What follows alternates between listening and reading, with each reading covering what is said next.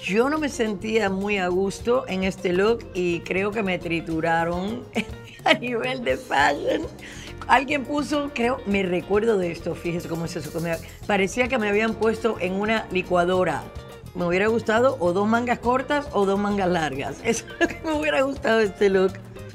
Este vestido famoso, lindo. No se ven en esta foto, pero tenía unas plataformas que hicieron para mí, doradas igual.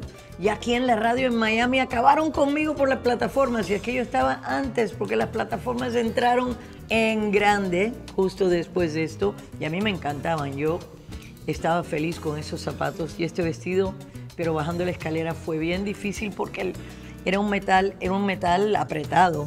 Las plataformas no van a salir de estilo, las cosas entran, salen.